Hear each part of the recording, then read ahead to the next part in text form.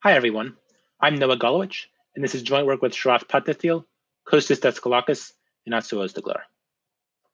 In this talk, I'm going to talk about the problem of min-max optimization.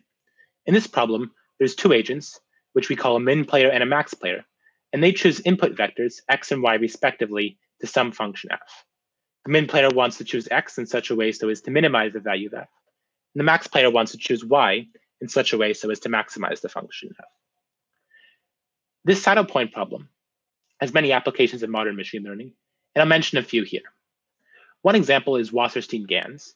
So here the min player chooses the parameters x of some generator network, which we'll denote by gx, and the max player chooses the parameters y of some discriminator network, which we denote by gy.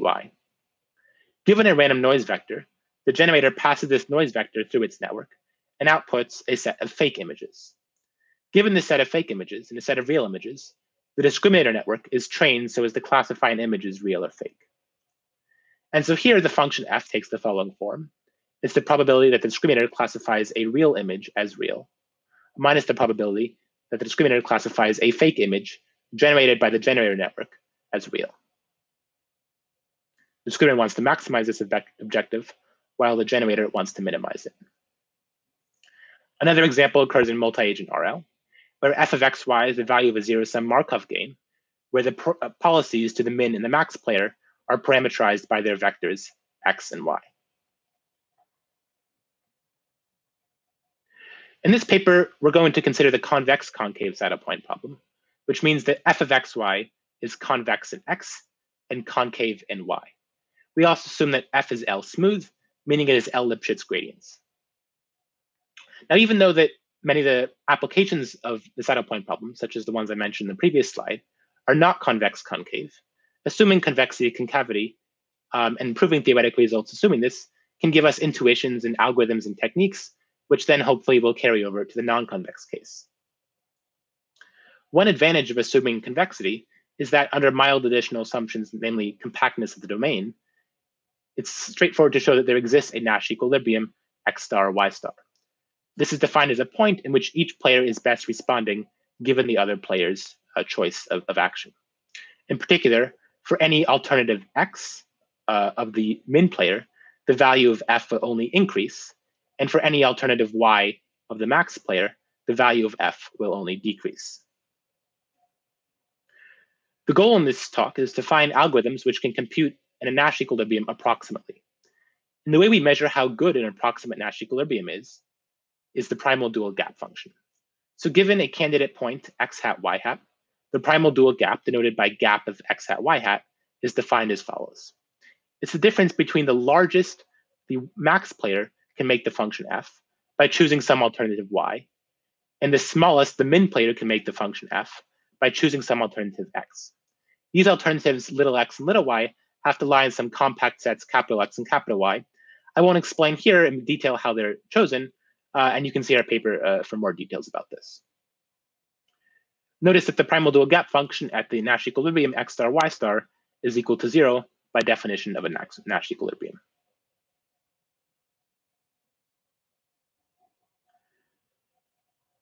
So I'll next describe one simple uh, algorithm which we might try to use to converge to use to converge to, to, to a Nash equilibrium. Uh, before describing this algorithm, which is known as GDA, I'll mention that the function f uh, we're going to assume it's going to be defined for all vectors x and y in Euclidean space. This is known as the unconstrained setting. So here's how this algorithm, GDA, or gradient descent ascent, operates. We initialize vectors x naught and y naught in Euclidean space and fix a positive step size eta. At each time step t, we're going to make the following updates. We let xt plus 1 be the result of taking a gradient step in the direction of decreasing the function f from xt. And similarly, to get yt plus 1 from yt, we take a gradient step in the direction of increasing the function f. So this is really in direct analogy to gradient descent, which converges to global minimizers of convex functions. Unfortunately, though, the iterates of GDA actually diverge for very even very simple convex concave functions f. Here's an example where each of x and y is a vector in uh, a single dimension. And as you can see, if the iterates of GDA are initialized near the center, shown in the dark colors. As time progresses, which is shown in lighter colors, the iterates will spiral outwards and eventually diverge to infinity. Fortunately, though, there's a simple modification of the GDA algorithm for which we actually do get convergence to Nash equilibria in the convex concave case. This is known as the extra gradient algorithm, and it was originally introduced by Korpelevich in 1976. Here's how its updates are defined. Given xt and yt at some time step t, before computing xt plus 1 and yt plus 1, we compute intermediate updates, xt plus 1 half and yt plus 1 half. And these are simply defined as taking gradient steps from xt and yt in a similar manner to GDA. But then to compute xt plus 1 and yt plus 1, we take another gradient step from xt, yt, but use the gradients computed at the points xt plus 1 half and yt plus 1 half. Because we're taking an extra gradient step at each time step, this is known as the extra gradient algorithm. Korpelevich showed that the iterates xt, yt of extra gradient converge pointwise to a Nash equilibrium x star, y star as t goes to infinity. And indeed here, uh, in the same convex concave function as shown in the previous slide, you can see that as time increases, in lighter colors, the iterates spiral inwards to the center of the plot, which is where the Nash equilibrium is. Now, the main question that we address in this paper is what are the rates of convergence of the extra gradient algorithm? In particular, how fast does the primal dual gap at xt, yt converge to zero? So there's been some prior work which has uh, addressed this question. Nemirovski in 2004 showed an explicit rate for the on average convergence of the extra gradient algorithm. In particular, if we let xt bar and yt bar denote the averages of the first t iterates of the extra gradient algorithm, then Nemirovski showed that the primal dual gap at xt bar and yt bar is bounded above by something on the order of 1 over t. It's also known that we have best iterate convergence for extra gradient, which means that the smallest primal dual gap up to time t is bounded above by something on the order of 1 over root t. But neither of these explicit convergence rates address the question of how large the primal dual gap for the iterates xt, yt is. And this is the question we address in this talk. It's actually a more a specific instance of a more general question known as proving last iterate convergence. And in general, the goal of last iterate convergence results is to prove an explicit convergence rate for the iterates xt, yt of some algorithm, such as the extra gradient algorithm, which has a constant step size. And I'll mention some motivation for this uh, direction uh, of proving last iterate convergence. First of all, while we can use techniques such as Jensen's inequality in the convex concave case to obtain guarantees on the average iterates of some algorithm, there is no such theoretical guarantees for averaging in general in the non-convex non-concave case. So therefore, it's important to develop techniques and algorithms for converging uh, in a last iterate sense, even for the convex case.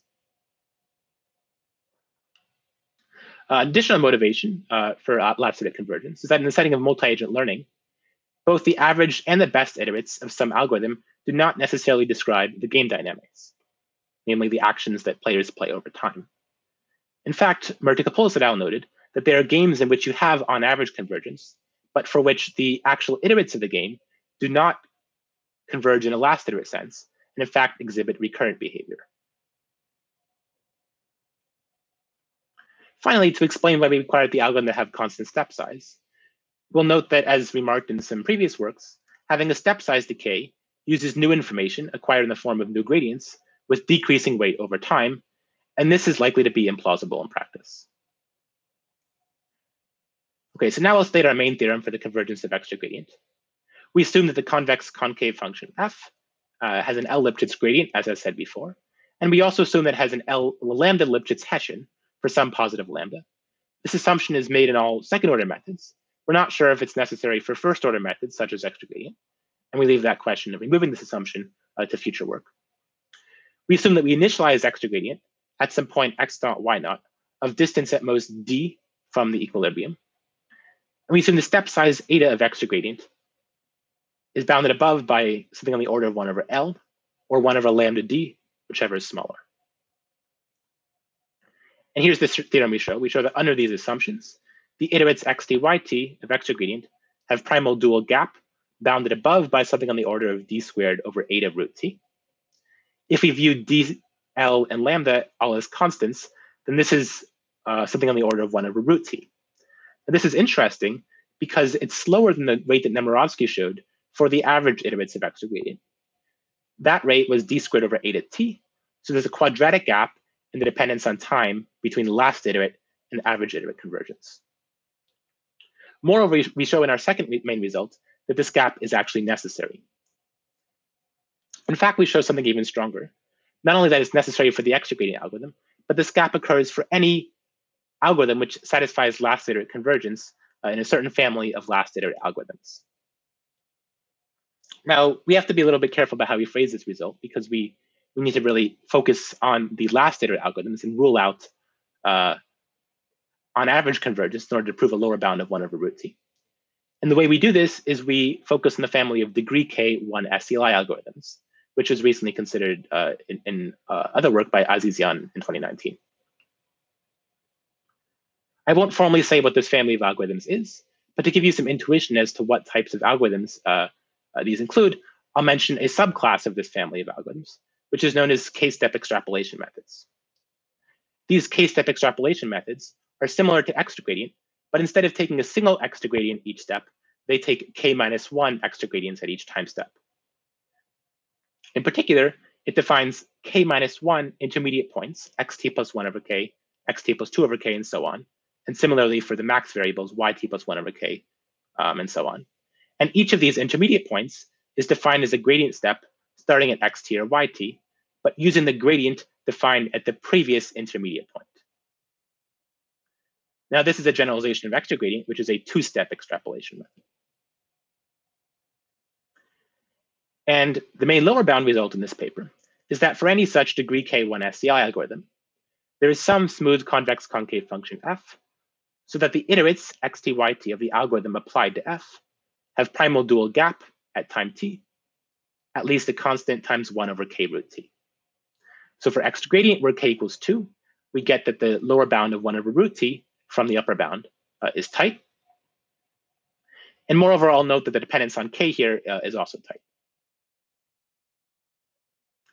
In the remainder of this talk, I'll talk about the uh, proof of our uh, upper bound, which shows the primal dual gap of the iterative extra gradient is bounded above by something on the order of 1 over root t. Uh, to do this, uh, I'll introduce a little bit of notation. So let's define capital G of xy to be the following vector. It's the concatenation of the gradient with respect to x of f of xy and minus the gradient with respect to y of f of xy. Because f is convex concave, it suffices to show uh, that the norm of the operator g at time t is bounded above by 1 over root t. And moreover, uh, recall from the best iterate convergence results that there is always guaranteed to be some time t star before time t, so that the norm of the operator g at time t star is bounded above by 1 over root t. So the main contribution of this work is to show that best iterate convergence implies last iterate convergence. And to do this, we use the following lemma, which states that for all t, the norm of the operator g at time t plus 1 does not increase much over the norm of the operator g at time t. And once we have this lemma, we simply use an induction starting an induction argument starting at time step t star and applying this lemma a total of t minus t star times to conclude an upper bound in the norm of the operator g at time t.